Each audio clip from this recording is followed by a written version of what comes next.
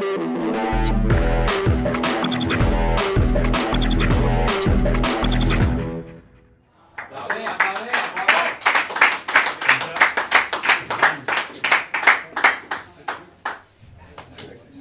al campo a, aplaudir.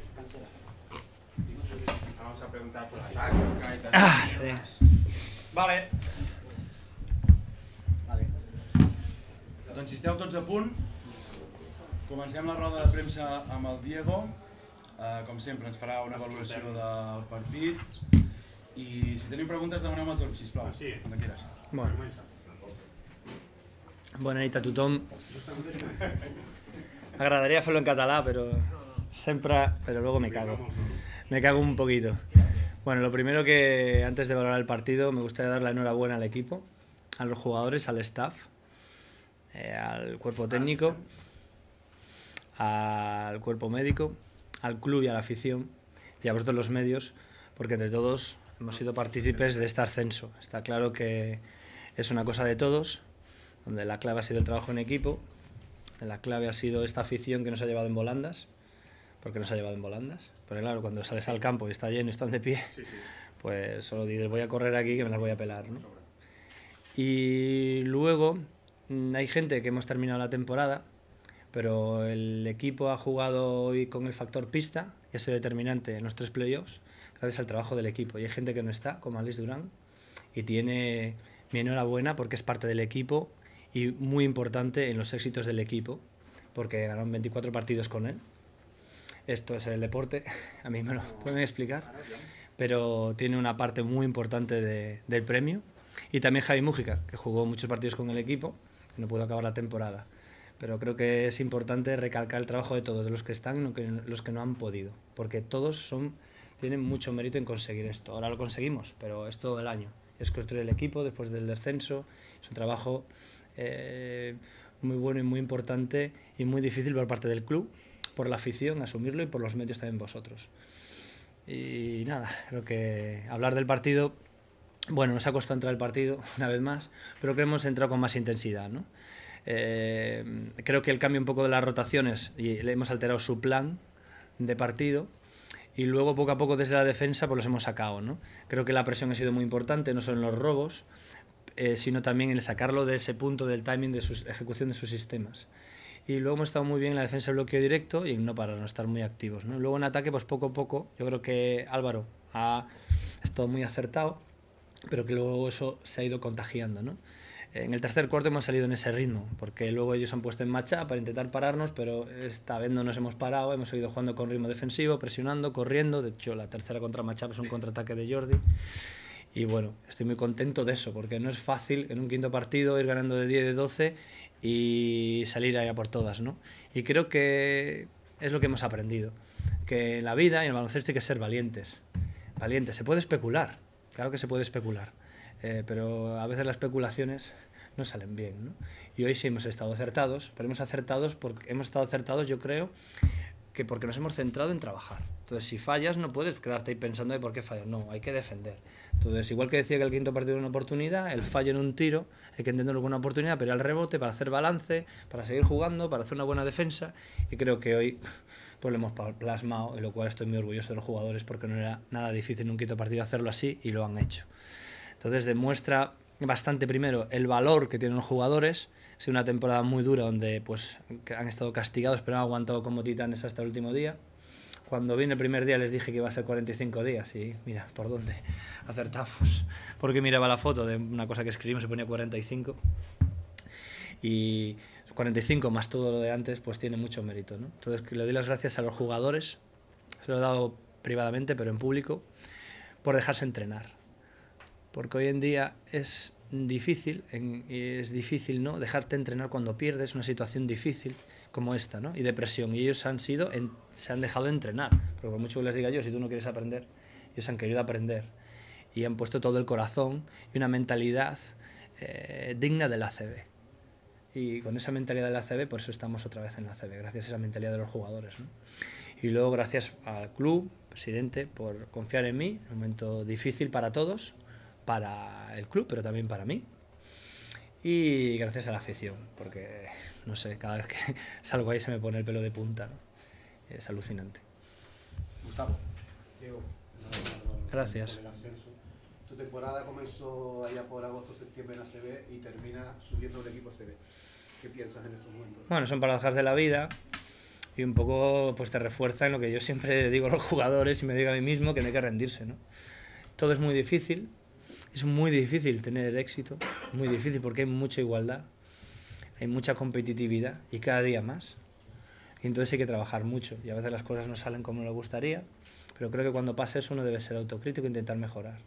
Y luego ser valiente en la toma de decisiones y valiente eh, cuando haces las cosas. Luego pueden salir bien o no, pero creo que esa es un poco mi filosofía, de intentar siempre mejorar, intentar siempre pues dejarme ayudar por los jugadores, por los entrenadores y por los demás, porque el entrenador no puede hacer las cosas solo. El entrenador es una persona más que está ahí. Pues yo creo que les he ayudado. Aquí el mérito es de los jugadores, del club, de la afición y de vosotros. Marc. Eh, hablaba de cómo había empezado la temporada para ti, cómo habían empezado las dos últimas, las tres últimas, las dos últimas experiencias. Redime un poco eh, este ascenso, las experiencias anteriores y una eh, ligada con esta. Has alucinado todo el playoff con, pabellón, con la afición, con el club. ¿Seguirás alucinando el año que viene, la temporada que viene con ello? Bueno, eso espero, seguir alucinando. Y Desde aquí, digo. desde aquí, bueno, voy a decirlo bien, eso espero seguir alucinando desde aquí. ¿Y cuál es la primera? Si te redime un Sí, poco no, eh, sí, pero no, porque creo que hay que pasar página. Porque si yo vengo aquí pensando en las otras cosas, no las haces bien. Y, y hay que pasar página, y es muy importante. eh, tanto si, pues ahora, ¿no? Después de esto, también hay que pasar página. Primero hay que celebrarlo bien y disfrutarlo bien, porque uno, a base de, muchas hostias y pocos éxitos, te das cuenta que hay que celebrar y disfrutar bien las cosas, ¿no? Sobre todo con la gente que está siempre a tu lado. Y disfrutarlo muy bien. Y eso lo voy a hacer y tanto. Y más de un día. Y, y después eh, es importante pasar página. Ahora después pasar página y segui- seguir con, el siguiente, con la siguiente lección, porque la vida es esto. Entonces, ni cuando te va bien hay que crecerse, que estás ahí arriba, porque de repente bajas del tirón, ni cuando estás abajo eres una mierda. Eh, Diego, enhorabuena. Gracias. En tus recuerdos, en tus vivencias, que serán muchos como entrenador de baloncesto, eh, ¿dónde guardas este ascenso? ¿Dónde, dónde lo pones? Bueno, de éxitos de yo siempre valoro dos cosas, ¿no? En los éxitos, uno son los éxitos de resultados y bueno, pues gracias a Dios tengo tengo alguno como primer entrenador, ¿no? Y luego como ayudante también. Y con niños también, con niñas entrenando, porque para mí el baloncesto es todo, no es solo entrenar a CB el Ale, sino también entrenar un equipo infantil. Y lo pongo al máximo, ¿no? Pero también luego tienes otros éxitos que no se ven, que es formar jugadores o formar personas, ¿no? Que es un poco ahí diluido. Entonces, bueno, eso también está ahí, ¿no? Y pues yo, a mí me gusta eso, ¿no? Y creo que eh, estoy orgulloso de este equipo porque se ha dejado formar. Entonces, bueno, es muy fácil decirlo ganando, pero perdiendo también se forma y también se forman, ¿no? Entonces estoy orgulloso porque se han dejado formar y creo que ese éxito, formar en un mes, que es mínimo, pero saber escuchar en un mes con presión, pues es muy difícil, porque cada uno podemos ir a ponernos traje Superman y a sacarlo adelante y no. eh, Yo creo que hoy es el, el ejemplo ¿no? del trabajo en equipo y eso es la clave. Més preguntes, Xavier? Sí. És avui un dels dies més feliços de la meva trajectòria com a Sí. Sí, y como persona, porque baloncesto es parte de mi vida. Gus. Digo, no es normal en un pabellón se suele corear nombres de jugadores, pero nombres de entrenador no suele ser a menudo. ¿Qué sientes cuando la grada indica tu nombre? Flipo. Y bueno, como decía, me llena de orgullo, pero me llena de orgullo cuando perdimos el tercero y el cuarto y yo le enseño a los jugadores, eh, a la gente aquí, después de perder. Claro, eso es la leche, después de perder todo el mundo, vaya mierda, no, ellos estaban aquí. ¿no? Y eso es lo que digo, que cuando íbamos perdiendo el primer partido de ocho estaban de pie. Eso es animar, ¿no? Con lo cual alucino. ¿Cuáles son para ti los valores de Manresa? dicho siempre, ¿no? Em, su historia nos tiene que enorgullecer y debemos hacer bandera de esos valores. Y la historia pues, reflejaría, por ejemplo, en Chichi Creus, ¿no? Eh, Ferran Laviña, eh, Rafa Martínez eh, y entrenadores que han pasado por aquí, que he tenido la suerte de, de que me hayan enseñado muchas cosas, ¿no? Y ese esfuerzo, es tenacidad, es no rendirse, pero también es hacer las cosas bien. Porque cuando hay pocos recursos hay que hacer las cosas bien. Y esa es la clave, no solo es luchar. Nuestro público también quiere ver jugar bien al baloncesto, porque aquí se ha jugado muy bien. Entonces es un deber. Y que no solo juegues bien, sino que juegues para ellos. Y el público quiere ver eso porque lo ha visto. Y a lo mejor eh, los abuelos de estos niños que vienen ahí han estado aquí. Y eso es orgullo ba- de, de baloncesto y de Manresa. Yo creo que debe ser unos valores que todo el que venga aquí tiene que grabárselos en, eh, con un tatuaje, pero en el ADN. Eh, Diego, eh, había vi en el pabellón gente muy veterana que asegura que nunca ha visto un ambiente como el de hoy en el Docungos. Eh, imagínate lo que puede ser este ambiente la próxima temporada en ACB para los rivales que vengan aquí. Esa es la clave. Y bueno, no voy a anticipar lo que pase, pero en la CB, claro, es mm, mm, igual que cuando vamos perdiendo nos han animado, en la CB para mantenernos, ¿no? que será el objetivo, pues habrá que saber perder y habrá que saber encajar para conseguir ese X número de victorias.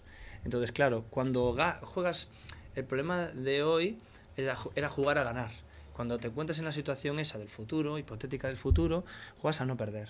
Entonces parece que te salvas y no es nada. No, te salvas y es ganar la liga. Es ganar la liga. Entonces con eso hay que enfocarlo. La afición, el entrenador, los jugadores, el club, todo. Saber entender que es ganar X partidos, pues 12 pongamos, no sé. Para ganar nuestra liga. Nuestra liga es quedar, pues 16, si es que hay 18 equipos. Y eso tiene que ser nuestro éxito y si mantenemos este eh, ritmo, ¿no? Y mantenemos estos valores, pues claro, todo es más fácil. Més preguntes pel Diego?